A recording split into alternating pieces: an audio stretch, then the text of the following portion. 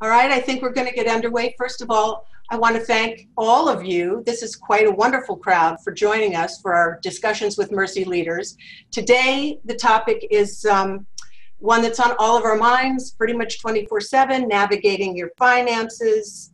We're going to talk about everything from taxes and other um, aspects of this COVID pandemic that have affected individuals to the world and how it affects countries and how we interact with one another. We are joined by Denise Stefano, who is a CPA and professor and chair of our accounting program. Oh, good, you waved, thank you. And Victor Patenkamani is with us. He is an MBA and professor and associate dean in our School of Business. Did you wave, Victor? Just wave a little bit. There you are. Okay.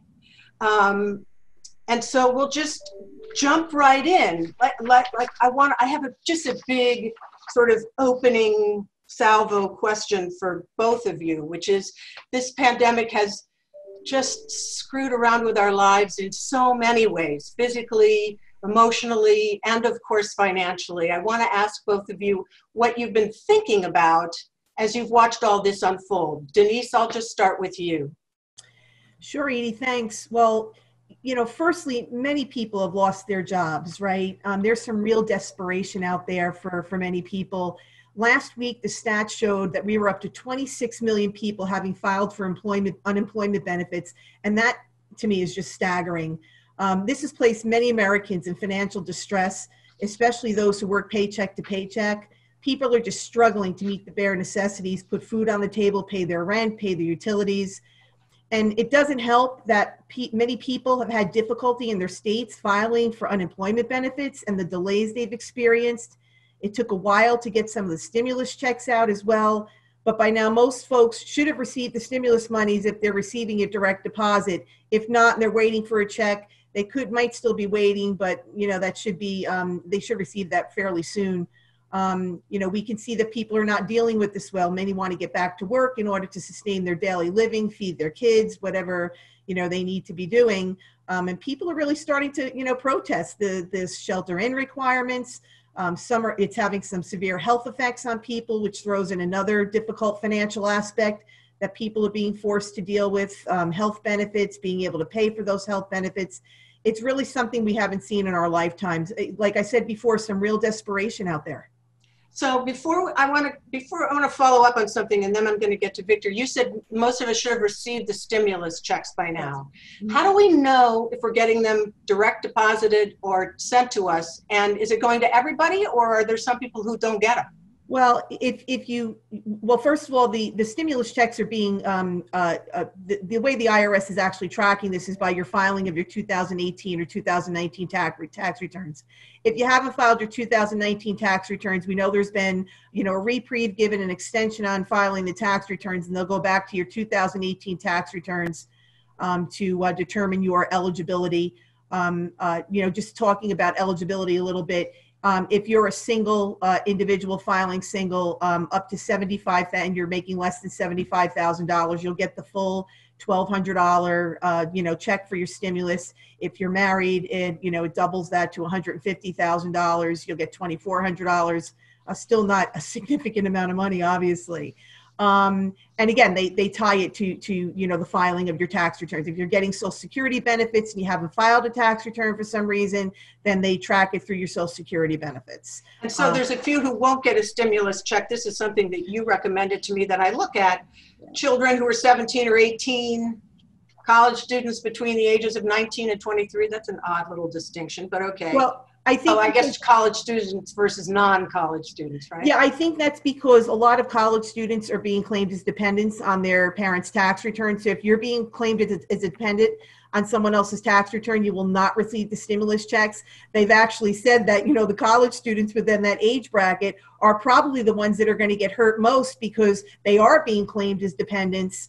Um, and because they're older than 17, the parents aren't getting the dependent money either, the $500 of dependent money. So uh, that pool of, um, of, of individuals is, is getting, you know, somewhat hurt by this, this whole, you know, this whole CARES Act. And if you haven't filed in 2019 or 2018, you're not getting a check. No, no. I mean, there's some rare exceptions. Um, there is, um, uh, you know, a link on the IRS's website where you can, you know, try and file for the stimulus. But that's really basically how they're they're tracking it. So, uh, yeah, the, the likelihood is is is nil. Okay, um, Victor, um, how do you? What have you been thinking about? And in particular, sort of how nations are dealing with other nations right now. Yeah, my first thought really was for our students, right? I, I think, you know, these are young people and they have never experienced something like this.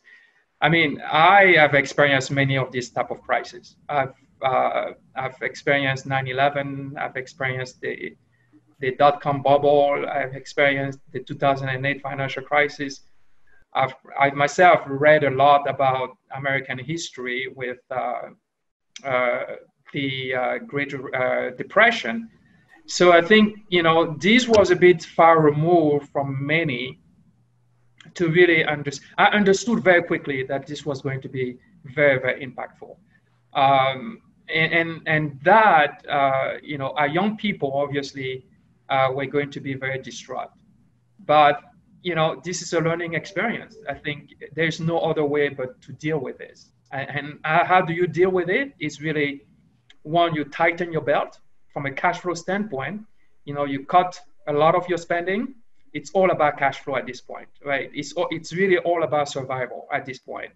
Uh, all the unnecessities, if you don't have to spend, just just cut, cut, cut, cut, and and then find all the resources uh, that are out there, even for food. There's a lot of food bank out there.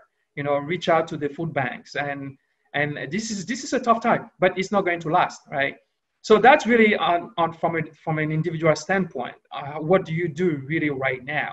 Right. it's all about ensuring that the, the well-being of your family and and of and your cash flow. Uh, and and if you have to negotiate with uh, with your landlord with your with other vendors take the step. Just don't wait. You know reach out and explain the situation you know, be proactive about it. Um, and there, there are community hubs out there also. So it's really up to, to us individually if we want to take care of ourselves. So from a, from a global standpoint, I've been, uh, you know, uh, this is this is again very very challenging. from a U.S. perspective, I'm not worried about the U.S. I think this is a very rich country. Uh, uh, we have a lot of resources. We, we can take care of ourselves. I, I, think I think unfortunately the government has been very very slow. The government has not done a very good job, uh, even though with all the resources that we have, uh, this crisis should not have become of this magnitude.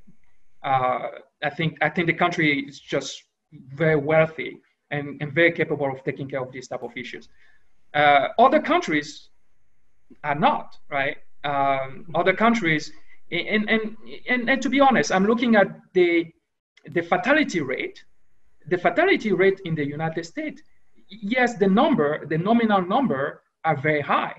But when you look at the percentage, it, the fata- we have, we're talking about a fatality rate of maybe 6%. But look at the fatality rate in, in Europe, right? In, in uh, Italy, France, uh, the UK. Right? That really raised the question of hey, what type of healthcare system do we want? Do you really want a socialized healthcare system? Because that's what we have in the UK and that's what we have in, the, in, in France. And we are seeing that some of this healthcare system are being completely overwhelmed. So I think this conversation is very, very important for us. We, we, you know, we are talking about a crisis now, but we have to really look forward and understanding about how, what type of system do we have and what type of system do we want. Um, Could I just um, follow sure. up on something that, that Victor was talking about with regard to the federal government being slow in, mm-hmm. you know, really uh, reacting to this? Not even just that, but from a financial aspect, you know, the, the, the objective of the CARES Act was to get money out into the marketplace and the economy to help start, jumpstart our economy. We aren't even near there right? The, the, the money that's been put in people's pockets is just enough money, and it's for some, not even enough money just to meet the bare necessities. Forget about going out and having any kind of discretionary spending, like buying a car, unless you absolutely need it, obviously, but where are you going to go, right? So, but, you know, buying a car, buying a house, you know, the things that we really, when we look at our economy and the, and, and the way our economy is, is, is, is, you know, progressing, we look at those types of things, that discretionary spending, not buying the bare necessities like food and, and things like that. The money that the federal government gave is really just giving you know to, to people to just you know acquire the bare necessities forget about those extras Day so i just wanted to add that to you know victor's point before about the federal government and their their involvement in this and being slow to actually react and things of that sort So do either of you have any thoughts about the calculation of when to open up the economy versus um, ensuring health and safety? I, I'm, not I'm not a health expert. I, I think I will rather have uh, health expert really tell us what to do. I think I think uh, I mean I, am reading a lot right right now. There is a lot of hopeful uh, uh, indication that maybe we are going to have a vaccine uh, by the beginning of fall right? So there is, I think, a, a, lab in, in Oxford that is actually going on testing some of these vaccine by September. So I think there are some hopeful, uh, uh, because again, if we don't deal with the healthcare side of the crisis, the economy is not going to recover. People are not going to be, do you really want to send your kids to school in this environment when you really don't know how many people are tested? right? Is that uncertainty that even if the government say, you know what, we are opening up, really family, we are responsible for our kids. Are we going to put our kids out there in danger? So, do you think, I mean, do you, can you possibly, to me, it feels like there's, people are getting a little twitchy out there now to get out. And, and, and that may be just anecdotal, but um, can you foresee a world where we don't open up the economy till September? You know, Edie, I, yeah, I, I, I, I think that's going to be very, very difficult. I mean, for the economy to be sh- look, look at the, the, the, the effect of it in just what a month and a half. We, we sheltered in what the, the middle of March. We're at the end of April right now. Look at the effect of it in just a month and a half. If we had to shelter in completely and not have the economy at least semi operating, you know, into somewhere in the fall. I, I, I, I can't imagine, you know, the, the impacts of this. Um, there's got to be a happy medium, you know, between, you know, this slow progress in getting us back to some some type of norm. I don't think we're going to be back to normal, uh, so to speak, in, in quite some time. I was just reading an article this morning. You know, we know that Georgia was one of those progressive states that's opening up, and yep. all, you know, of all op, of all businesses to operate, you know, uh, professional services, you know, barbershops, and you know, where you're touching people and and, and closely contacting and things. And even the article even said, even though that that's the case there's an eerie, eerie, eerie sound in Georgia. I think people are still afraid, even though they're saying, yeah, let's open up this economy. People are being extra cautious, um, you know, from, from a health consideration. And I, I think that even if we said, hey, let's open up the economy in full and turn the faucet on tomorrow, I still think you're going to have many people who are just going to really look at this very cautiously, and it's just going to take time to get things back to some type of normal state. Yeah, you know, my son tells me the tattoo parlors have opened up in Colorado for all of you who are keeping score. Um, so let me ask you some personal finance questions, Denise, because we've gotten questions, um, several questions along this line. Do the COVID stimulus checks need to be repaid? No, they do not. They, it, what the COVID stimulus checks really are, just so you understand, they're really a tax credit against your a dollar for dollar tax credit against your 2020 tax return. But basically, what the government done is advance those monies to folks. So it's it's kind of a, for people get the stimulus check. It's kind of like a wash. But let's say, for instance, that um, and I'll just you know I'm just going to detract just a little bit, Edie, but on the same lines here. Let's assume that um, you didn't uh, you know you didn't qualify under the income requirements uh, for COVID right now, but in 2020 you did. You'll still have the opportunity to claim for that credit on your 2020 tax return. So if you lost your job, let's say in early 2020, and your earnings went down to such a state that you would qua- uh, otherwise qualify for the COVID-19 stimulus, you will be able to um, to claim it as, as a credit on your 2020 tax return. Now, if you owe money, if you filed your taxes and you owe money, can you delay paying on that money until that July 15th deadline? Yes, not only have the tax returns for both federal and New York State. Um, you know, I'm not familiar with all the other states, but New York State, they've extended their deadlines for filing the tax return to July, July 15th, and any payments that you might owe with the tax return are also um, deferred to uh, July ni- July 15th. I'm sorry, not not the 19th, 15th. Um, and if you owe estimated taxes, and this is just for the federal government right now, for your estimated tax payments, your first quarter and second quarter payments, which would normally be due on April 15th and June 15th, those are also getting extension to July 15th. For the state, the April 15th payment has gotten extended to July 15th. And while I usually follow suit with the, with the IRS, I, I'm not quite sure yet that they've extended the June 15th payment, but they usually follow, you know, behind what the IRS does. So I'm, I, I can't make any promises. I would assume that that's going to be forthcoming. Uh, but again, to, you know, uh, the tax return and any payment on the tax return, July 15th, first and second quarter payments, federal, July 15th, um, state, first quarter, July 15th, possibly the, the second quarter payment as well. I want to put in a little plug for our students who, under your guidance, offer free tax prep for people in the Westchester community Yes. at tax time. Will will they if if if if if we are able to assemble someplace, will they be offering that whenever that time comes? Well, it's funny because I was just, um, you know, I communicate with the IRS regularly with regard to the VITA program. And, you know, it, it really depends on the site. Um, you know, we had um, sites both in our Dobbs Ferry and our Bronx campuses, and our campuses are closed. So um, it's difficult to, if we're not open, to be operating VITA. Um, but other VITA sites within the county may have sites that are open, you know, depending on what the, the guidelines are from the governor and, and state requirements and things like that. So there are, there is opportunity, even if our students felt comfortable working in another VITA site, if they're certified, they could do that. Um, it's unfortunate that we had to wind down the program uh, as early as we did because we were doing very well in the program and it's very, very helpful to these low income households who who are Right. helped by this whole stimulus piece. All right, one more, uh, and we'll come back to this. But what guidance can you share if you've been laid off as the result of this pandemic to handle your debt obligations? Um, so if you've been laid off, well, let's um, let's talk a little bit about that. Um, so the first thing to do if you've been laid off um, is you should be filing for unemployment as soon as possible because there have been some delays. Although the state seems to really have gotten itself together and there's not that much of a delay anymore. Um, you know, so make sure you're processing that uh, that un- unemployment, uh, you know, that unemployment check. Um, under the CARES Act, the federal government automatically ties their federal unemployment to your, the filing of your state unemployment. So you'll get that additional $600 from the federal government as well too.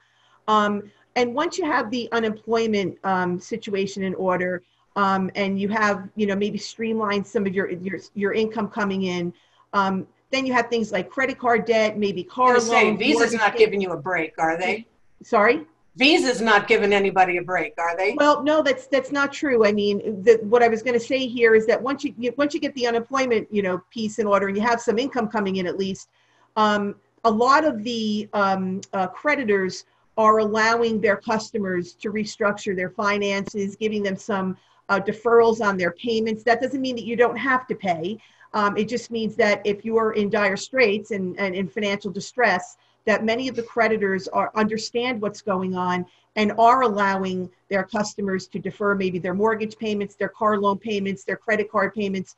So it's always good to contact your creditor, um, uh, whoever that may be, uh, whoever you have your credit card through, whatever bank, um, and and talk to them, uh, you know, about trying to, you know, to, uh, you know, give you some, um, you know, relief at this point in time. But again, I, I it's it's not like you're going to be completely relieved from the debt. You are going to have to pay it, but at least if you got a couple of months reprieve to actually pay back that debt, that could be helpful. So I, I always recommend that that's after you get your finances in order with unemployment, that's the next thing you should be doing if you have you know, uh, bills and things out there that you can't pay. Um, and a lot of the creditors are being very understanding with that.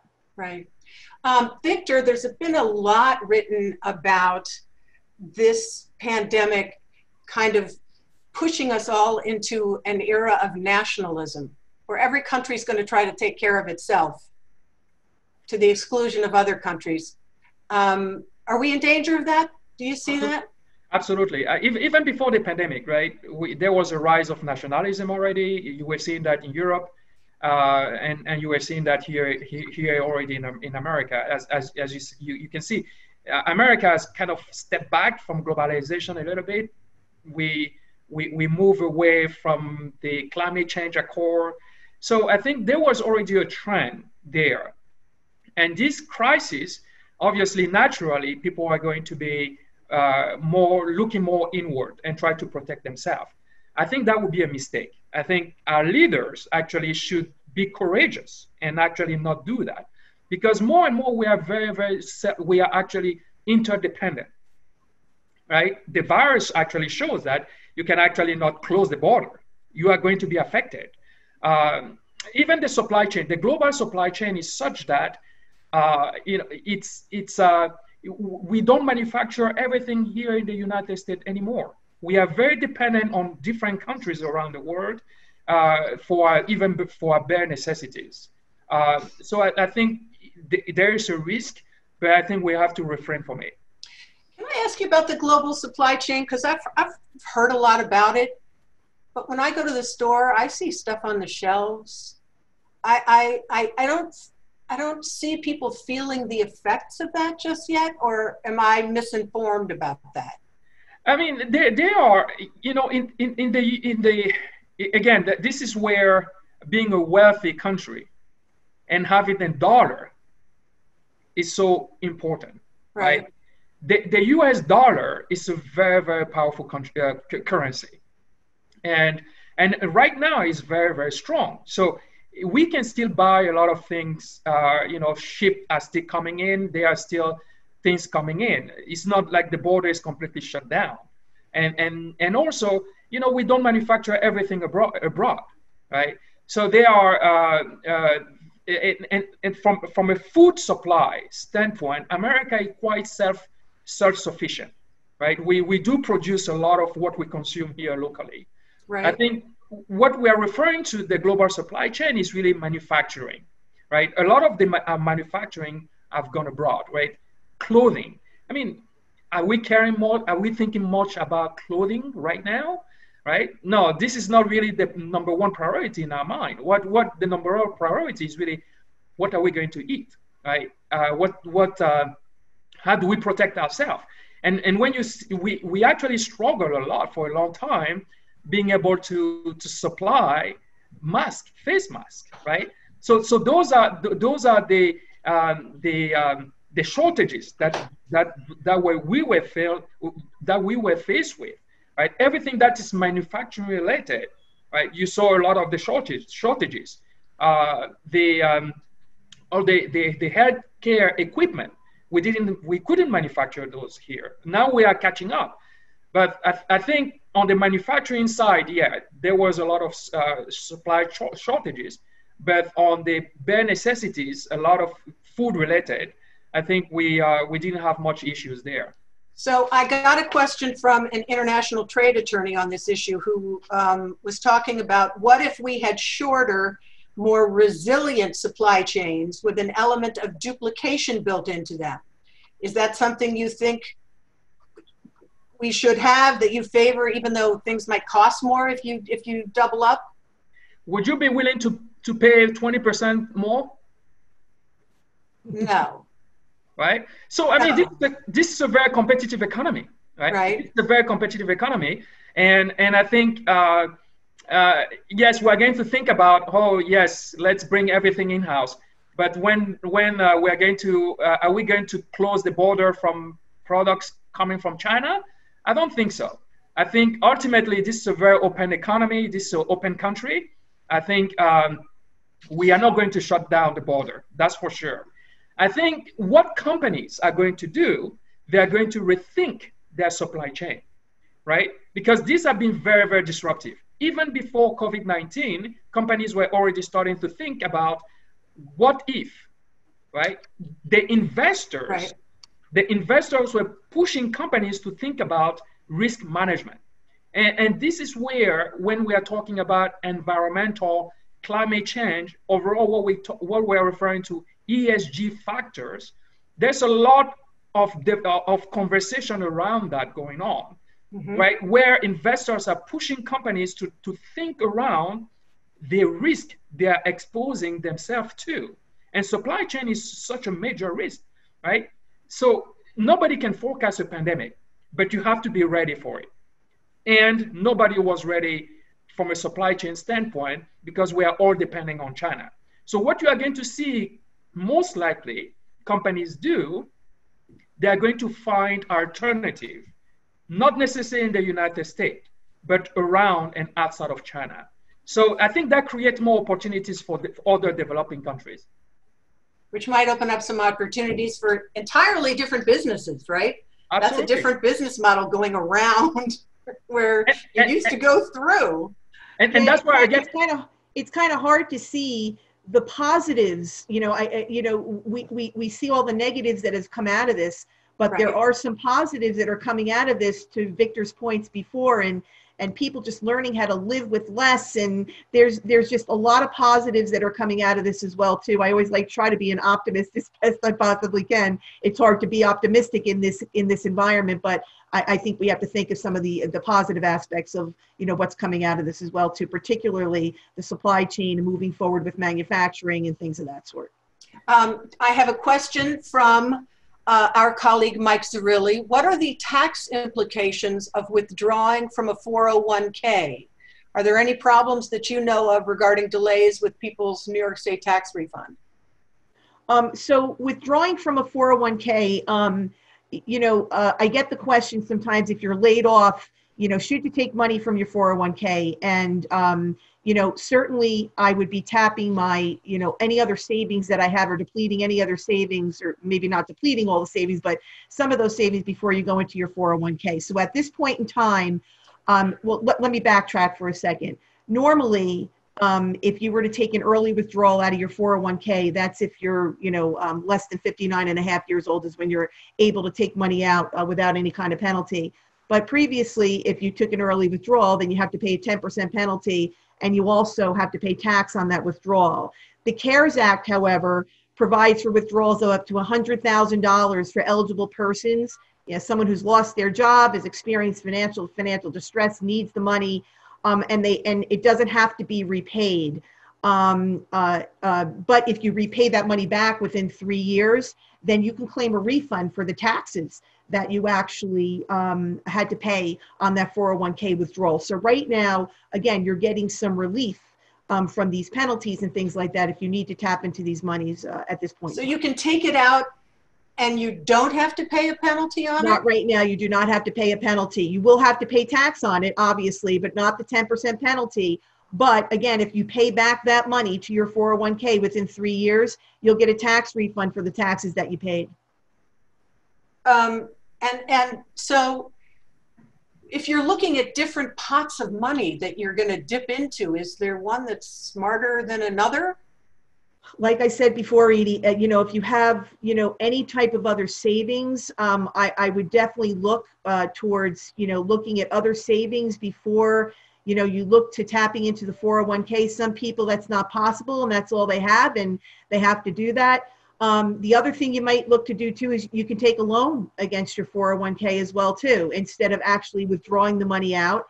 Um, and then uh, if you think you're going to stay with your employer for quite, you know, for some time, you've been there for a while, there's no reason to believe you're not going to be let go, then you have five years to pay back that loan as well too. So um, maybe take a loan before you actually take out a withdrawal. Um, but you know, if you're severed from your employer now, right, and all you have is that pot of 401k, that might be your option.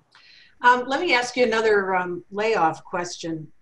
So many people were laid off right away, right? They, they just uh, were gone within days of the economy shutting down. But I've also read that, you know, this may come back in like two, three months when companies really get a sense of their financial health, if not even over the long term, over the next six months or a year? Are we going to see more layoffs, do you think?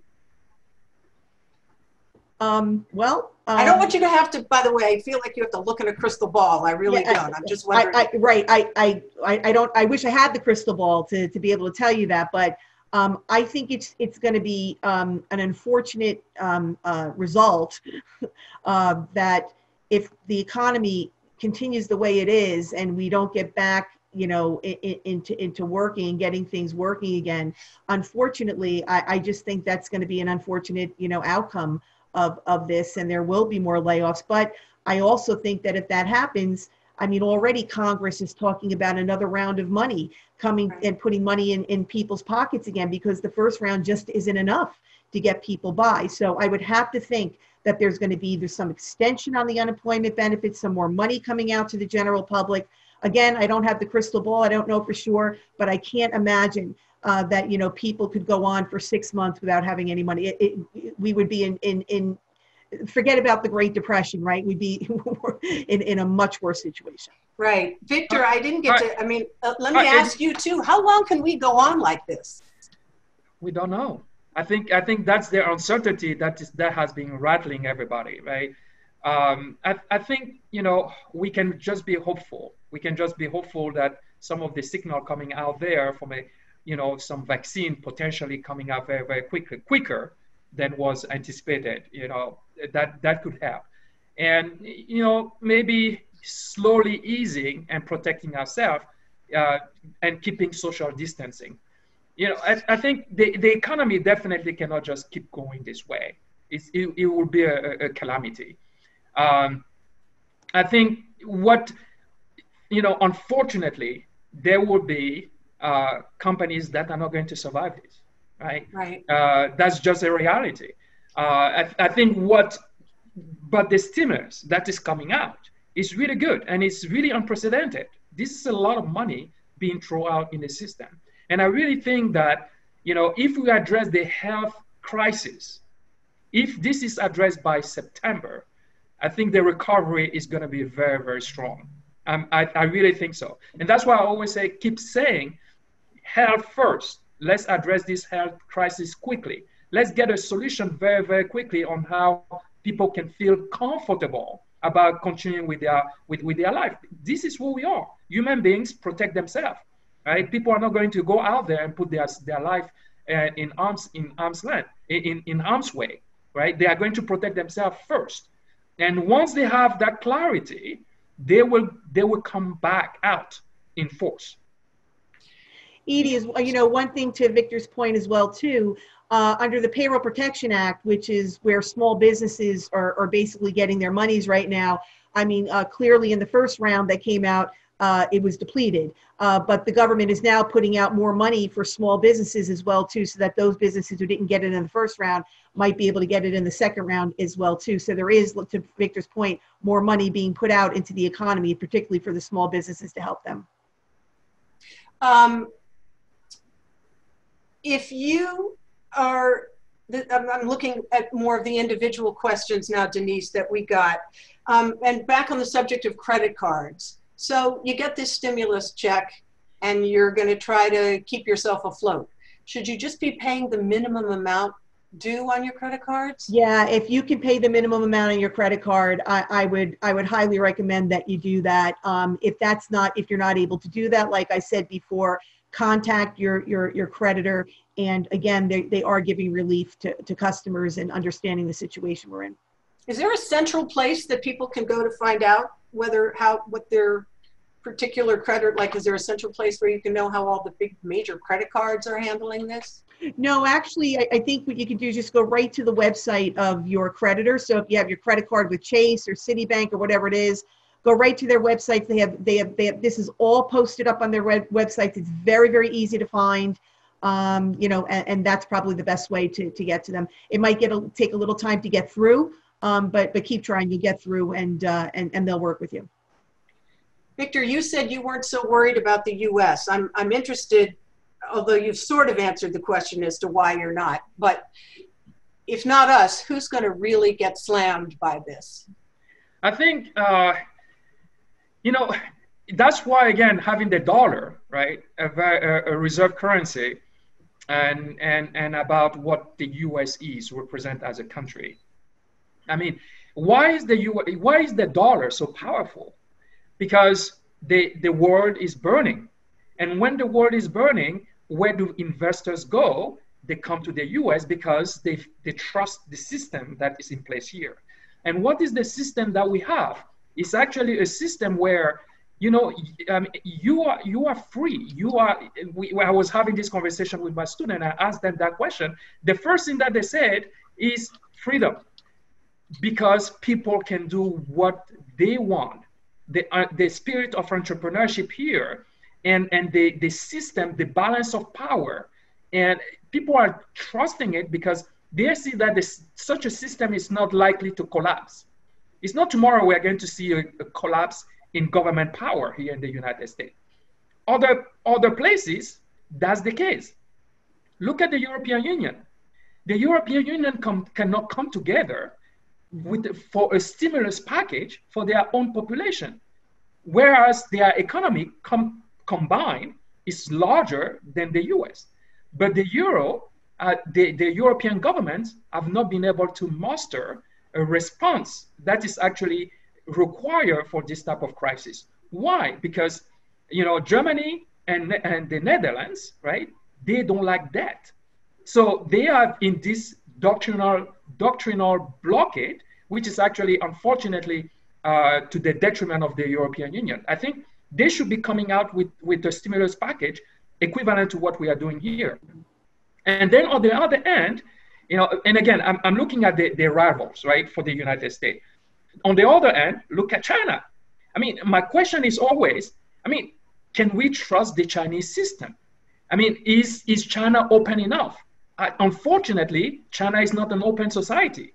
And that's, that's to their detriment. And, and that's where their government is making a huge mistake. They are, they are aspiring to become a global leader, but unfortunately, in an open society, with, uh, with the system that they have right now, nobody can trust them really seriously. So I think I think that's where again, when you look back, I mean, this is what investors think. Where am I going to park my money? Right? The U.S. is the only place that really is um, is is uh, is capable of doing that, and and therefore we hope that the recovery in the U.S. can come very very quickly, and there and then the, the and then the U.S. also can lead the world right out of this. Historically, the U.S. has done that, and this is the first time that the U.S. leadership is it's, it's lacking, and it's unfortunate. Um, you were talking about talking to your students. I'm interested, just for both of you. You have this living history happening right now, and you're both teaching, right? Yeah. So, how are you incorporating the events of the world into your classrooms? I mean, this is what we are talking about actually all the time, right? I, I push them to think about uh, globalization. We're talking about supply chain we, I was I was actually encouraging them, you know, hey, don't let this, uh, you know, preclude you from thinking international. Your future, you know, you are young. This is the time for you to understand what other countries are doing, because I think uh, maybe your future would be in helping an American company uh, establish itself in another country tomorrow. So, I mean, I, you know, I, I'm, I'm an immigrant here. I came here. I, I, I think that the, the world has so much to offer to the US, uh, and it would be unfortunate for this young generation not to understand better the world. Right. How about you, Denise? Get your CPA as quickly as possible. because, and I say this because the accounting profession, in many regards, is almost recession proof, right? Right now, people need to have their taxes done. They need advice on all these taxes. So if you're in tax, you're busy and you're you're you're not slowing down right now. Um, you know, I'm an academic teaching accounting. You know, things are going you know uh, fairly well right now. Um, and you know, even a, a, lot of my colleagues that are in accounting positions, uh, you know, with just with with the with the financial crisis and things that are going on, um, you know, they they're still relatively busy as well too. So um, I always say accounting is somewhat of a re- recession-proof, uh, you know, career. You're in the right career. Get certified as soon as possible. Do you have um, students who are seniors who are now looking at uh, graduating without a job? No, actually, in accounting, um, uh, the big accounting firms right now are still recruiting. Uh, we've got students who've been offered, you know, jobs at EY and KPMG, and they are still actively recruiting, and they're moving forward. That you know, as if things are things are going to move forward. Maybe their their start time will be pushed out a little bit, but they're still actively recruiting, um, you know, uh, you know, candidates and and students uh, for jobs within the firms. Um, Victor, you think we're looking at a world where um, we've hit a point of no return in terms of how much work gets done at home? Uh, no, because human beings don't like to stay at home. yeah, I'm really I mean, maxing out on Zoom. I don't know what that tells you, but I mean, I mean, we, we were thinking about that technology is going to completely disrupt uh, human relationship, and ultimately we are finding that human relationship cannot humans cannot stay away from each other. So I think I think um, uh, you know there is a place for technology, right? There's a place for technology. I, I think, but uh, nothing can replace uh, you know our interaction with each other. I do think though that it's forcing companies to to rethink you know what positions are conducive to maybe you know more work life balance and you know being able to work from home versus in the office and and those types of things. And i think companies are going to be looking at that a little bit more closely now that we've seen that a lot of positions that you know we thought we had to be in the office and be together. And i, I, I agree with victor I, I want to be out with people myself too i mean i'm an academic right I, I love to be in the classroom with students right but I think corporations and companies are going to start rethinking, you know, how they can manage the workforce in the workplace relative to being able to work, you know, offsite and, and work in the office. No, and, um, and, and absolutely. Yes, it, don't get me wrong. I think that it's it's a very important part of of the workforce, and and that speak to uh, another point that I think I put together some slides, and and where you know the demographics, the demographic issue uh, we need to address, and particularly uh, natality issues, right? How, how do we encourage, be, how are we more flexible with parents? Just get to that slide, Victor. Is it this one or the, or the, uh, well, this so, is about that, that we should not worry about the national debt. No, absolutely. For, for this one, I, I was really saying here that uh, the, uh, uh national debt, uh, yes, it's worrisome, but this is not the time to think about it. I think this is the time first we, we need to stabilize the economy, and we are going to wrap we are going to rack up some more debt, but it's a temporary issue. And if you move if you move to the to uh, slide number 7 mm-hmm. This is really beyond the COVID nineteen. This is the the structural crisis that we are faced with. We are not making enough children. Down the road, this is going to come and bite us back because these are the future, these are the kids who are going to support the baby boomers, right? We are having crisis with Social Security, but who is going to be able to support their, their retirement? We people are living longer but we are not having enough kids. That's a pretty steep drop, isn't it? It's, it's, a major drop. But what is driving that drop is because of the financial crisis since, since 2007, right? Because one, it's more expensive to raise a family. So obviously, women are waiting longer to have to have kids because it's too expensive. So we have to address these social issues. That's that's the that's the argument that that that I'm making which actually uh, address some of that question that you asked, right? We have to accommodate our workforce, and particularly those who are parents, mm-hmm. right? If it's not enough, we are not, we are not, um, um, uh, we are not providing enough flexibility uh, for to parents uh, to raise their kids and at the same time work from home. Mm-hmm. But let me get to your uh, last slide here, which both of you can, this is sort of strategic considerations and how we should look forward about this. Yeah. You want to start, Victor? What are your thoughts about all of this? My, my uh, in, in, the, in the previous slide, I said our, our financial crisis is due to what I call the trilogy of tax cuts. Mm-hmm. It was a major mistake. Unfortunately, a politician comes with what we call, I remember uh, uh, Bush father call it, call, called it voodoo economics. right? I mean, you cannot cut taxes and hope that, you know, you are going to balance the budget. It doesn't work that way, right? So I think we have some structural issues that we need to address. We will have to pay more taxes, unfortunately. And the president who is going to raise taxes, I'm sure he's going to only have one term. But he has to be willing to do that. The country has to come back to fiscal discipline. This is not the time to do it. But down the road, once, once we, rec we recover from this financial, from, from this uh, health crisis and likely economic uh, recession, right, we will, you know, over time, we have to address some of these fiscal issues. And, and those are structural fiscal issues.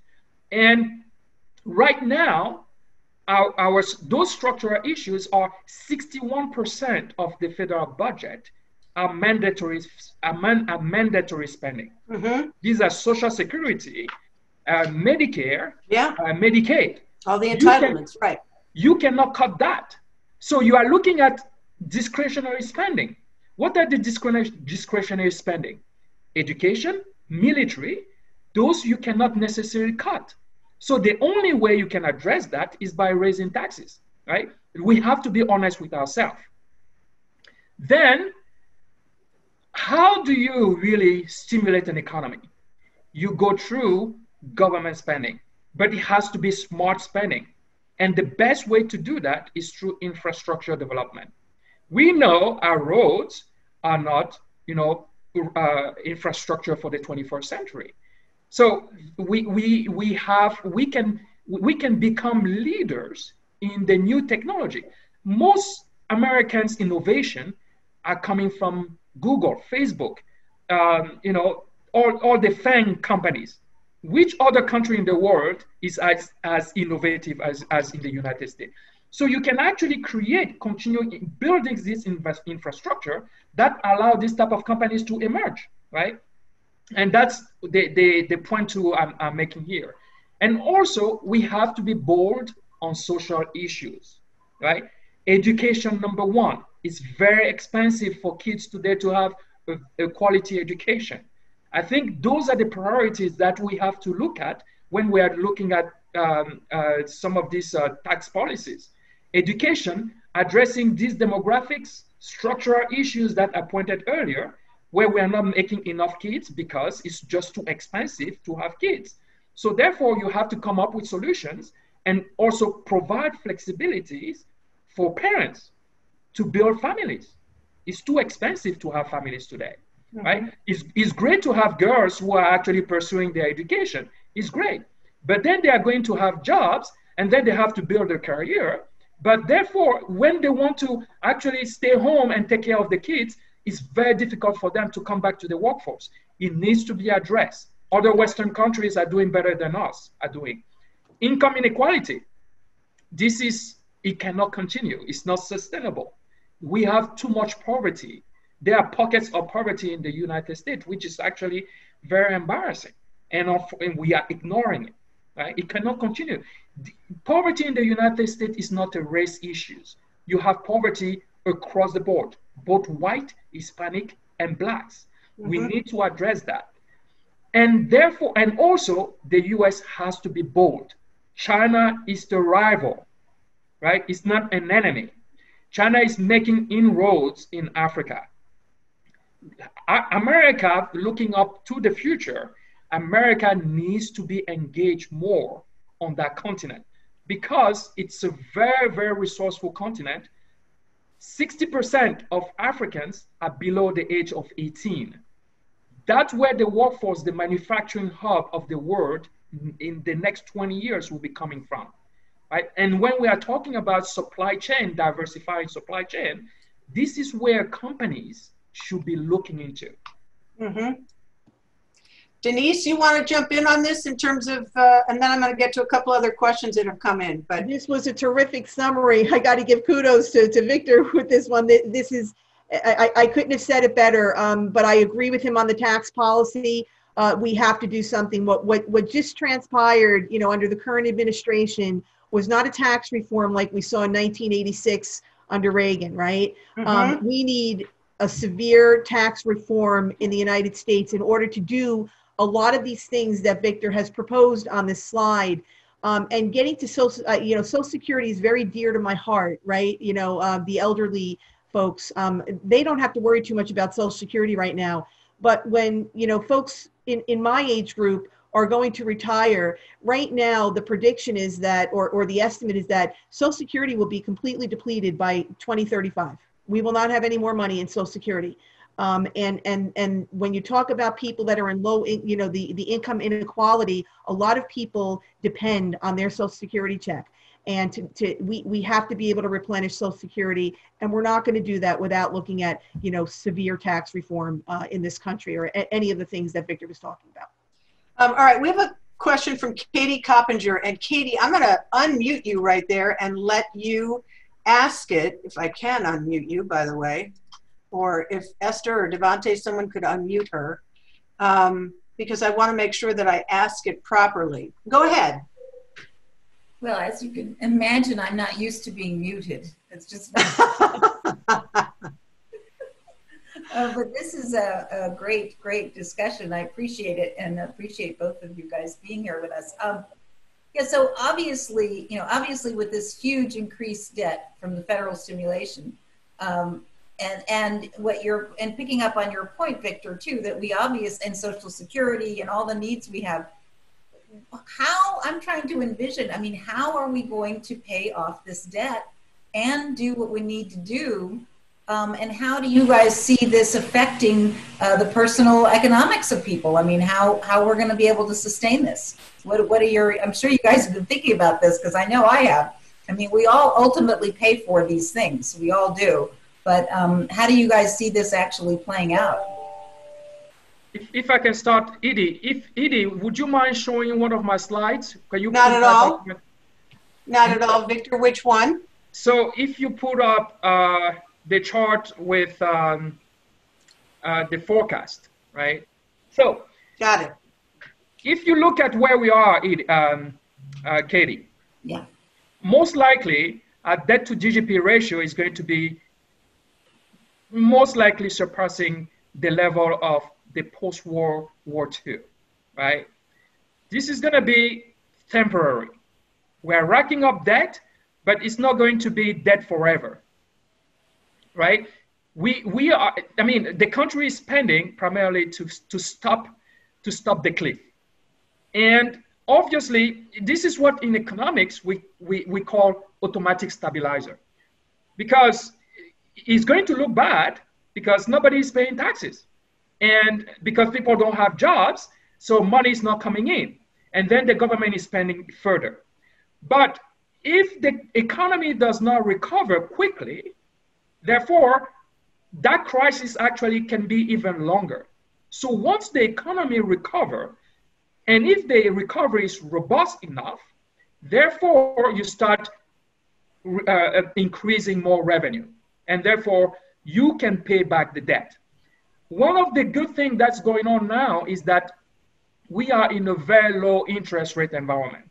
If you can go to uh, slide number six, Ed, right? We are borrowing, but at a very cheap rate, right? The the 30 the the the, uh, the 10 year uh, yield it's it's near zero, right? That this is unprecedented level of, of interest rate. So the government right now interest cost is about two percent of spending, right? So the government can can borrow.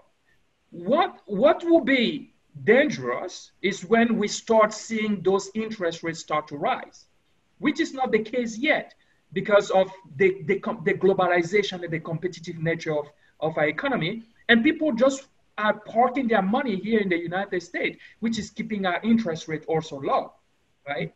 So, so, so that's, um, I, I think that if we are disciplined enough, once this financial crisis, we are off this financial crisis and we are disciplined enough, that that would not be an issue. I, I, and again, that's why I am referring to the structural issues. Mm. We should not give tax cut, unnecessary tax cut. It was a major mistake. The 2007 was a tax cut was a major mistake. Actually, that's what one of those tax cuts led to what where we are right now, right? Where we we are actually were on sugar high, right? Mm-hmm. We were, we had a bubble and the bubble burst, right? Why? Because of these fiscal policies that actually are not timely done. Right. Denise, any final thoughts from you? We're gonna we're uh, very close to the end of our hour, unfortunately. No, actually, I this was you know a perfect uh, segue into the end, and uh, and to Katie's question, um, I can't agree with Victor anymore in in the comments that he made. Definitely, we we have to do something with tax policy to address this, and we will, and and we will get out of this. It's going to take time, but but we will we we, we will get back on track.